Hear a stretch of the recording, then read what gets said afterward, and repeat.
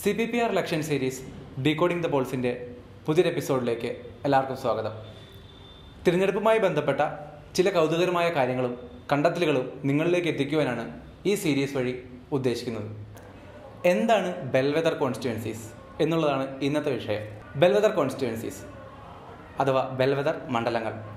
ബെൽവെതർ എന്ന വാക്കിന്റെ literal meaning എടുത്തു കഴിഞ്ഞാൽ ഒരു കാലിക്കൂട്ടത്തെ നയിക്കുന്ന മണികെട്ടിയ ഒരു കാലി അഥവാ ഒരു പശുക്കൂട്ടത്തെ നയിക്കുന്ന അതിന്റെ നേതാവ്. ഈ പശുക്കൂട്ടം ഏത് ഡയറക്ഷനിലാണ് പോകുന്നതെന്ന് കാണിച്ചു തരുന്ന ഒരു ചൂണ്ടുപലക. അതാണ് ബെൽവെതർ അതുതന്നെയാണ് ഇലക്ഷൻ സിനേറിയോയിലെയും ബെൽവെതർ ഒരു രാജ്യം അല്ലെങ്കിൽ ഒരു സംസ്ഥാനം ആര് ഭരിക്കുന്നു എന്ന് ചൂണ്ടിക്കാണിക്കുന്ന ചില മണ്ഡലങ്ങളുണ്ട്. അതിനെയാണ് നമ്മൾ ബെൽവെതർ കോൺസ്റ്റിറ്റ്യുവൻസീസ് എന്ന് പറയുന്നത്. പൊതുവെ യു എസ് ഇലക്ഷൻസിനോടനുബന്ധിച്ചാണ് ഇത്തരത്തിലുള്ള ബെൽവെതറിനെ പറ്റിയുള്ള വാർത്തകളും അതിനോടനുബന്ധിച്ച കാര്യങ്ങളും എല്ലാം ചർച്ച ചെയ്ത് കണ്ടിട്ടുള്ളത്. ഫ്ലോറിഡ അമേരിക്കയിലെ ഒരു ബെൽവെദർ സ്റ്റേറ്റ് ആണ്. ആയിരത്തി തൊള്ളായിരത്തി ഇരുപത്തെട്ട് മുതലുള്ള കണക്കെടുത്തു കഴിഞ്ഞാൽ വെറും മൂന്ന് തവണ മാത്രമേ അമേരിക്ക ജയിച്ച പാർട്ടിക്കെതിരായി ഫ്ലോറിഡ വോട്ട് ചെയ്തിട്ടുള്ളൂ. അപ്പോൾ നിങ്ങൾക്കൊരു സംശയം തോന്നിയേക്കാം. നമ്മളുടെ കേരളത്തിൽ ഇത്തരത്തിലുള്ള ബെൽവെദർ കോൺസ്റ്റിറ്റ്യുവൻസികൾ അഥവാ ബെൽവെദർ മണ്ഡലങ്ങളുണ്ടോ ഉണ്ട്? എന്ന് തന്നെയാണ് ഉത്തരം. രണ്ടായിരത്തി ഒന്ന് മുതൽ രണ്ടായിരത്തി പതിനാറ് വരെയുള്ള ഇലക്ഷൻ റിസൾട്ടുകളെ നമ്മളൊന്ന് വിശകലനം ചെയ്യുകയാണെങ്കിൽ നമുക്ക് കേരളത്തിലും കണ്ടെത്താൻ കഴിയും പത്തോളം വരുന്ന ചില ബെൽവെദർ മണ്ഡലങ്ങളെ.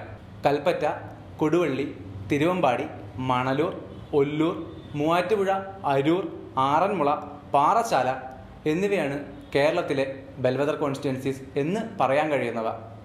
പക്ഷേ ഇതൊരു ഫുൾ പ്രൂഫ് ആയിട്ടുള്ള ഒരു ലിസ്റ്റ് അല്ല കാരണം പലപ്പോഴും ഇപ്പോൾ നമ്മുടെ അമേരിക്കൻ ഇലക്ഷൻസ് കേസിലായ വരെ തെറ്റിപ്പോയ ചരിത്രം നമുക്ക് കാണുവാൻ സാധിക്കും. കേരളത്തിന്റെ കണക്കെടുക്കുകയാണെങ്കിൽ നമുക്ക് കൊടുവള്ളി ഒന്ന് പരിഗണിച്ചാൽ നമുക്ക് കാണാൻ സാധിക്കും. രണ്ടായിരത്തി ഒന്നിൽ ആന്റണിയുടെ നേതൃത്വത്തിലുള്ള യു ഡി എഫ് മന്ത്രിസഭ വന്ന കാലത്ത് ഇന്ത്യൻ യൂണിയൻ മുസ്ലിം ലീഗിന്റെ എം എൽ എ ആയിരുന്നു കൊടുവള്ളിയിൽ നിന്ന് ജയിച്ചത്. അതായത് യു ഡി എഫിന്റെ ഘടകകക്ഷിയായിട്ടുള്ള ഇന്ത്യൻ യൂണിയൻ മുസ്ലിം ലീഗിന്റെ. രണ്ടായിരത്തി ആറിൽ അച്യുതാനന്ദൻ മന്ത്രിസഭ വന്ന സമയത്ത് കൊടുവള്ളിയിലെ എം എൽ എ ഒരു ഇടത് സ്വതന്ത്രനായിരുന്നു. അതുപോലെ തന്നെ രണ്ടായിരത്തി പതിനൊന്നിൽ പിന്നെയും ഇന്ത്യൻ യൂണിയൻ മുസ്ലിം ലീഗും രണ്ടായിരത്തി പതിനാറിൽ പിന്നെയും ഒരു ഇടത് സ്വതന്ത്രനുമായിരുന്നു കൊടുവള്ളിയിൽ നിന്ന് ജയിച്ചു കയറിയത്. ഈ ബെൽവെദറിന്റെ ശാസ്ത്രം എത്രത്തോളം സത്യമാണെന്നറിയാൻ നമുക്ക് മെയ് രണ്ടാം തീയതി പതിനഞ്ചാമത് നിയമസഭയുടെ ഇലക്ഷൻ റിസൾട്ട് വരുന്നതുവരെ കാത്തിരിക്കേണ്ടത് തന്നെയുണ്ട്.